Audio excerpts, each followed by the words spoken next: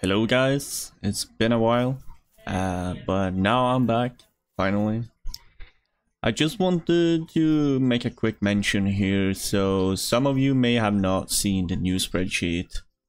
So basically, you set your percent bonus, for example, if you have the perk, if you're in war mode, if you have the perk and the war mode, uh, if you have the 15% there, which means that you got double perk but no war mode, and the 35 is actually perk with war mode. Simple as that. Uh, choose your bonus. You choose a start location and a sell locations. Let in this case Margoo to Defiance.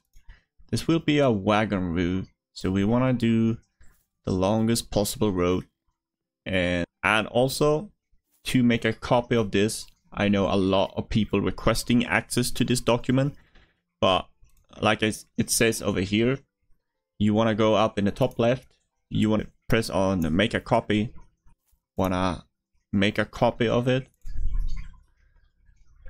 and then you have your own accessible spreadsheet where you can edit your own numbers. Alright.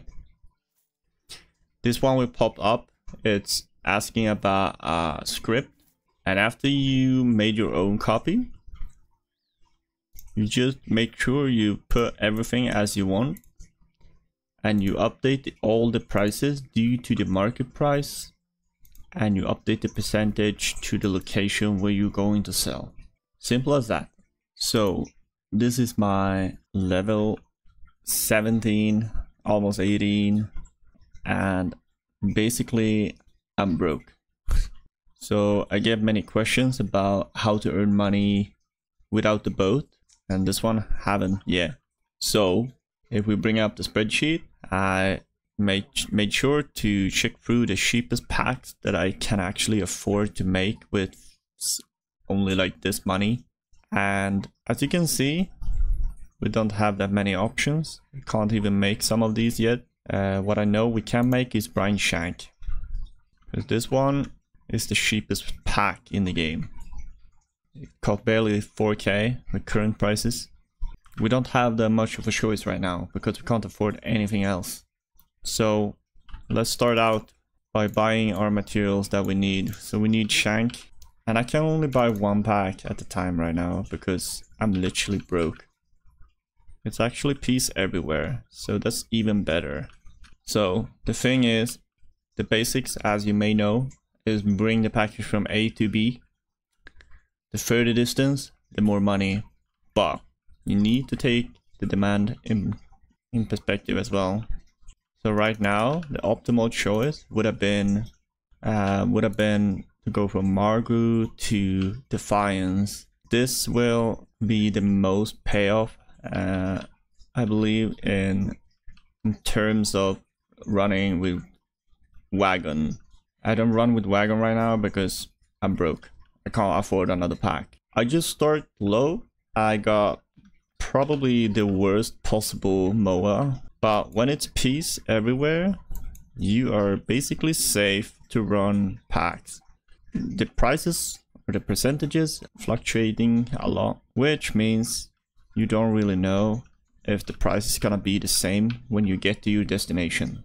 One thing you can keep in mind is that if you run from Defiance, for example, and you run to Margoo, the prices totally crashes. You can actually put your package into the warehouse and store them. And then you just keep an eye on when the prices goes up and it fits your calculations. Alright, so when we crafted our package, uh, Riverend was about 40 or even 50 and that showed up pretty well on the spreadsheet. Uh, Defiance was, you know, 30 and would probably be the same-ish. Uh, since it's further to Defiance, it will pay off more. So the, the percentages can be lower. The thing is that during the time we were running, Riverend actually went down a lot and Defiance actually increased. And while during the run, I'll just decide that I won't stay at Riverend because this will barely give any payoff at all. So instead, I hope the percentages stays a bit longer and I can deliver my package to a higher price. Alright guys, we're about to reach Defiance. It took some time with this MOA. Yeah, it probably took about 8 minutes to run with a single pack with this speed. And we were actually very lucky with the percentages. It actually went up a lot. So we gained 9.8k. So as you may remember, our first calculation was with Riverend with 45% and that would give us 2k. Instead, I choose Defiance and it ended up being 62%. So it we managed to sell it for, it was 9.8, right? So it could be in 63, yeah, probably 63%. That means we made 5.9k profit. That's not bad. That's more than double the cost of the package. So this guy is doing the way you want to do it. You want to have a better MOA. You want to upgrade your wagon because the wagon is very cheap. All right. Try to have at least the three slotter or the four slotter. Uh, even the four slotter, like the three plus one, is actually very cheap. So upgrade your MOA and your wagon ASAP because that will bring you more money. And to all players that are low level, uh, you should run when it's peace time because then no one can actually attack you. And you're running all this distance here, safe. And low, low cost package is good because they don't require that much percentage to be profitable. So even if down at 30%, it would still be profitable. Now we managed to get here with 63% and we made 5.9k. So the best case scenario would have been if I saw that, yeah, Margot is decent. Then I could have then I could have started in Defiance and go all the way back to Margot. And if the percentage would have been crashed by then, I just put them in a warehouse, wait for the percent to go up. I teleport there whenever I'm happy with the price and I sell them. Well, right now, as we started with basically nothing, we started with about 5.8 if I'm not mistaken. Uh, I'll go to the market. I check here. I see Defiance is still decent. I'll decide. Yeah, I'll go for another. The prices haven't changed anything really that's also stuff you need to take in mind. You should you should always stock up. Like you you want to buy if you you're thinking that all right, and now I have the chance to run a lot of packs. Like I can run for almost one hour. It's peacetime. I'll stock up with you know at least 12 packs in case you have the bigger wagon that actually can move more because 12 packs is only with the four slotter is three runs and that easy made in 30 minutes. Alright, so we started with one pack. We know that Defiance is still very stable, very high. And take in mind, you don't have to do Brine Shank. All of these packs are pretty low uh, cost packs, which means they're all very easy to get a bit of profit, even if the percentage are very low, okay? So the reason I went with Brine Shank is literally because it was the only pack that I could afford. So this time I will bring my wagon. My wagon. You don't joke about this wagon, dude. Now I'm even slower.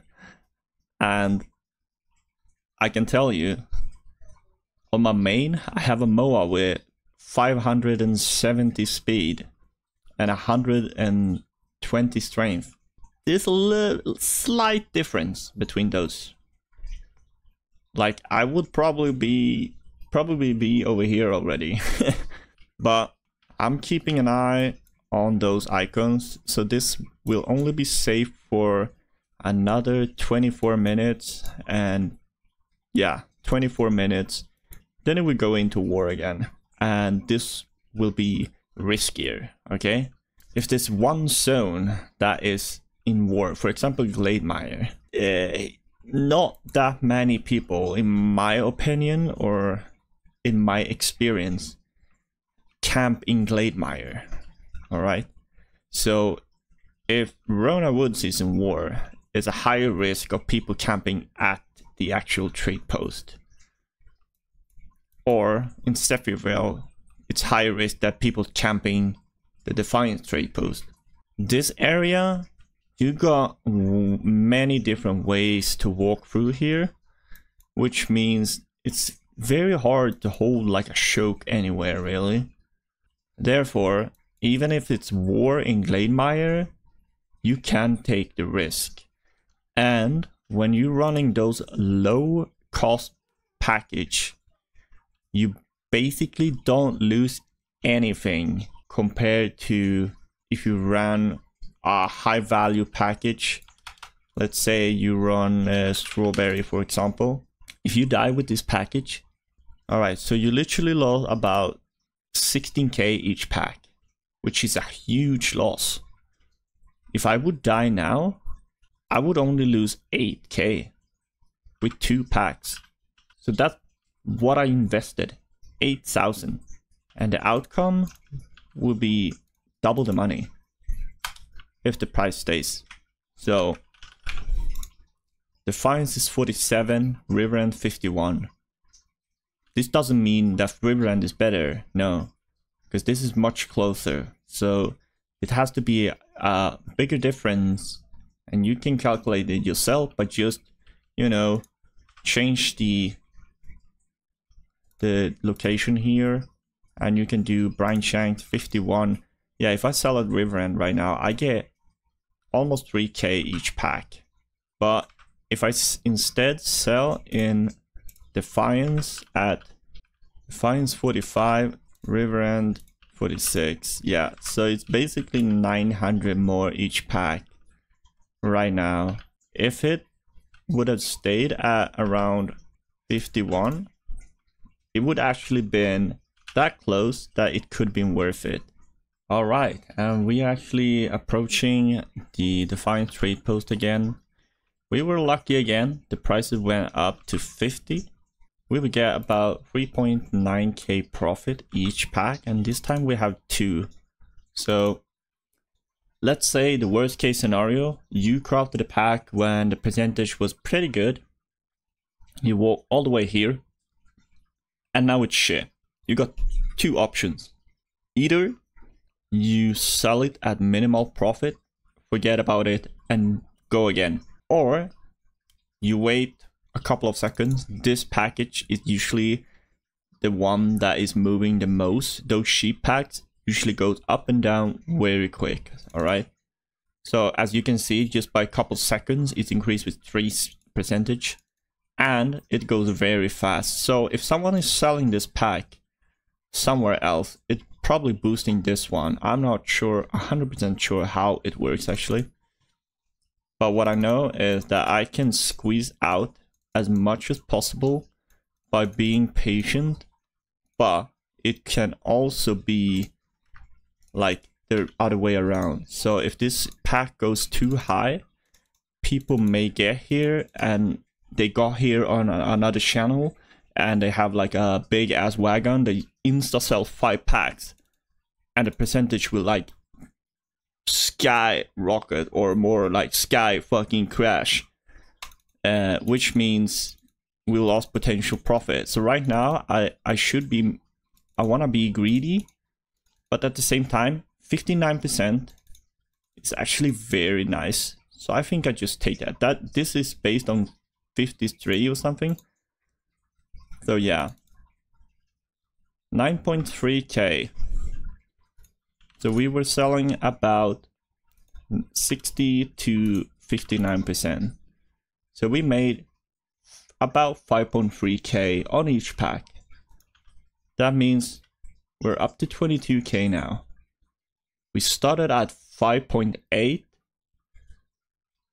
and with absolute basic we have the first MOA that is level 2, no speed bonuses whatsoever here.